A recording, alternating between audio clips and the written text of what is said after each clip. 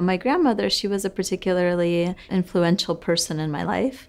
Um, she was a family physician and uh, was a very intelligent and caring woman. So I really saw how important her job was and how she was able to connect with people and help people.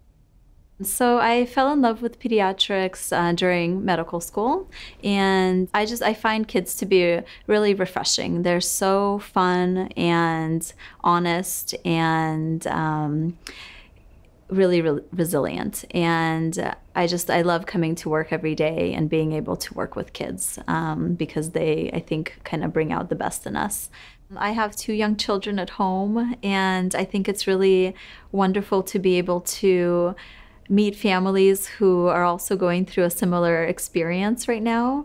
Um, it's wonderful to see them grow as a family uh, and to help them along in that process. Um, I also really enjoy working with children uh, with de developmental disabilities um, because I think it can be difficult uh, for the parents to navigate their way through the various resources that are available and really to find the best care for them so I think uh, what's really important to the doctor-patient relationship is uh, open lines of communication with the family uh, and really to be able to build trust with the family.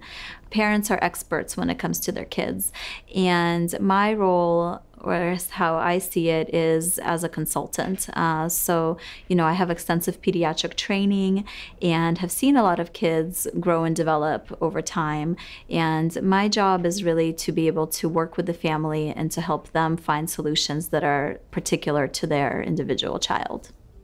I really love my job. I love coming to work every day. Um, I think that it's really fun to watch kids as they grow. So seeing a newborn um, is very different than seeing a 17 year old and kind of the, the conversations that you have with the family or with that 17 year old um, can be uh, really interesting and kind of keeps me on my toes. Um, I also love um, just the uh, relationship that I'm able to build with the uh, patient, but also with the family over time. And I think that's a really satisfying part of my job.